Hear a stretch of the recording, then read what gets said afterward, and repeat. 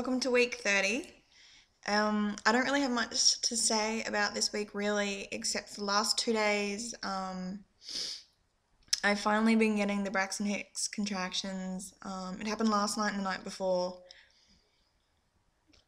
At first, I thought, like the first time it happened, I thought that she was just sitting funny because I was laying in bed on my side and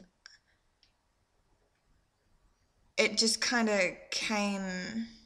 I, I, I just, I know, it was just that like I was aware of where she was sitting exactly at that moment in time. And then the sides of my stomach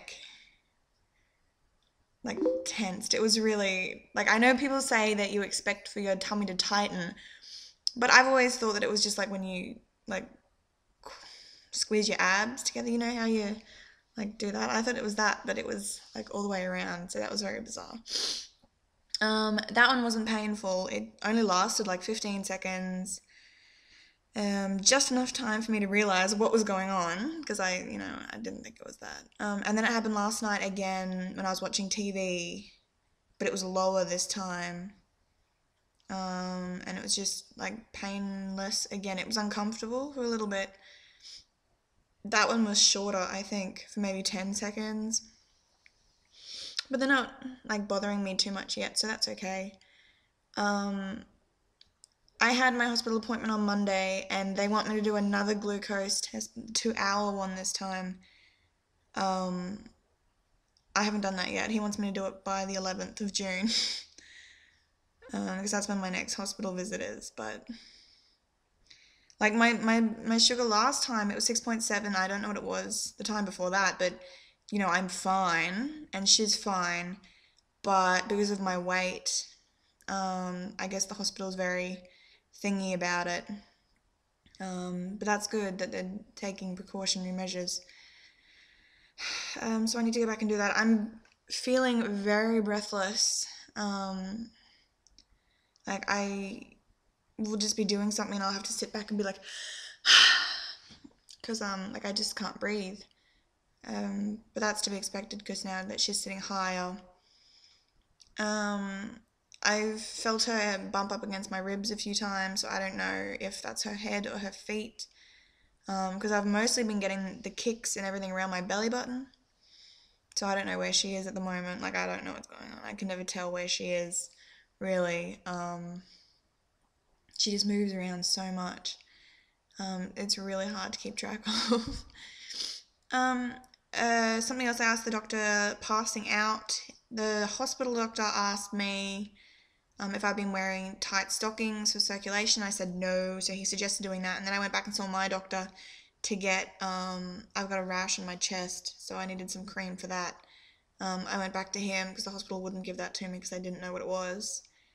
Um, and I asked my doctor, and he said that because of my posture is so poor, like I've got terrible posture, but now that I'm pregnant, it's even worse, and I like there's more strain on me now. Um, he said that the muscles in my neck, you know, like carpal tunnel in your hand, the muscles kind of prevent circulation from getting through, and they kind of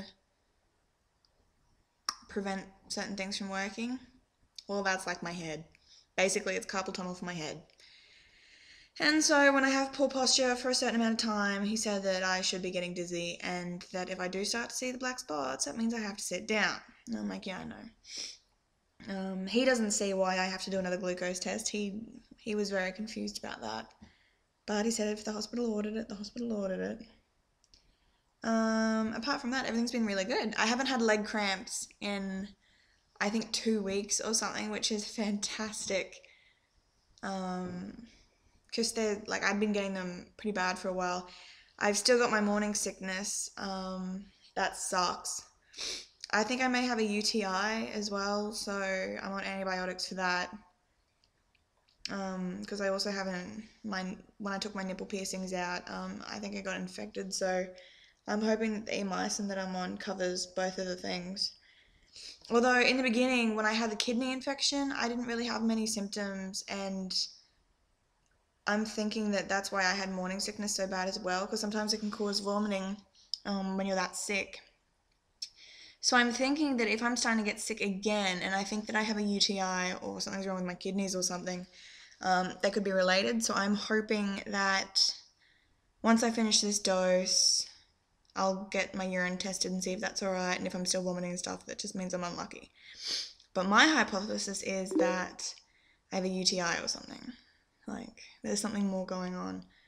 Because um, I've had morning sickness since Mother's Day and that was the second Sunday of May, and it's now the 30th. So, two weeks. Okay. It sucks. Um, it's not really me feeling sick, it's just a blah. It's horrible. Um, but at least I'm not straining and I'm not as sick as what I was in the first trimester. That was, oh my god, that was horrible. Um, but no, everything's really good. Um, I'm starting to sleep a lot better when I don't have indigestion, but that's coming back again, and I'm almost out of my tablets. So I think I'm just going to buy a big liquid bottle um, instead of the chewy tablets because they take half an hour to kick in. Um, and I found I went and guzzled some milk the other night because it was so bad, and then I laid back down, and it was like a milky reflux. Then, like I was still getting like stuff in the back of my throat, but it it was milk that was kind of coating the acid a little bit. So it's really bad. it's really, really bad. Um, but I did have a big dinner that night, so I kind of brought it on myself. It was so good though. lemon potato. Um, apart from that, I don't really have any food aversions. I've been craving licorice, chocolate covered licorice, so badly.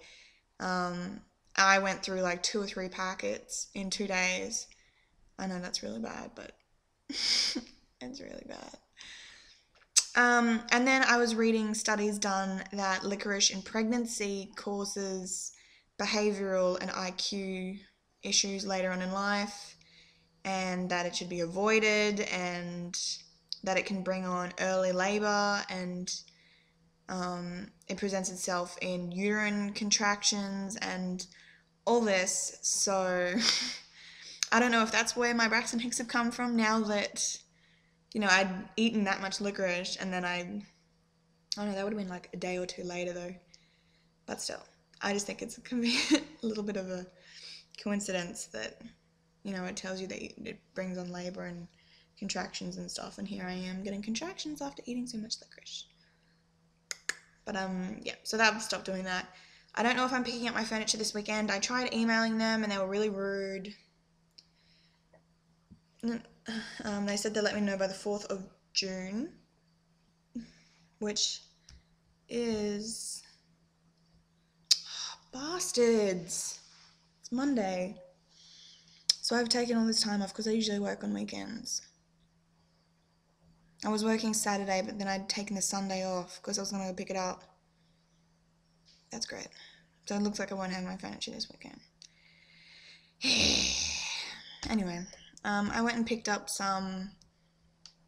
Well, I bought them off of eBay because I don't know how big she's going to be. She was measuring really big, but no one will tell me how big. Um, I haven't had a scan since 20 weeks.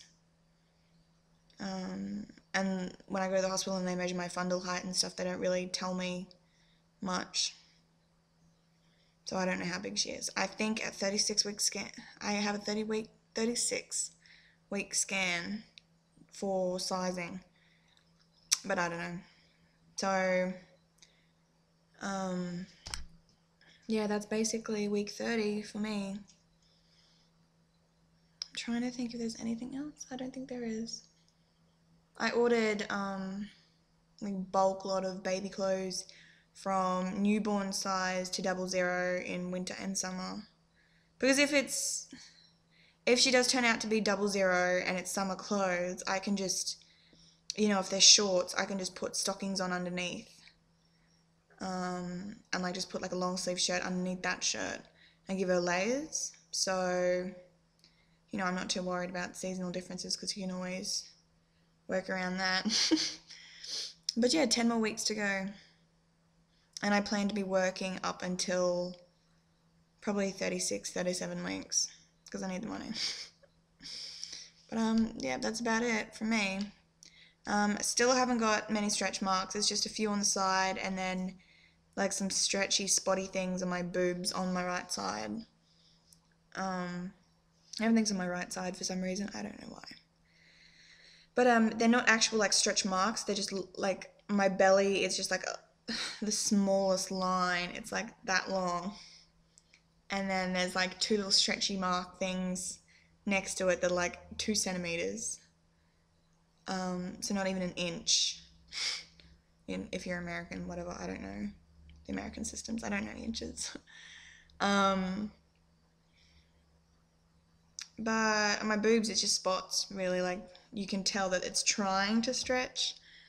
Um, I haven't really had much itchiness on the top of my belly. I have, and on the sides where, like, I get itchy on both sides, but the stretch marks are only on my right side, which I think's, you know, but like I'm still getting itchy. So I've been trying to put um, cocoa butter stuff on it, um, the stretch mark stuff.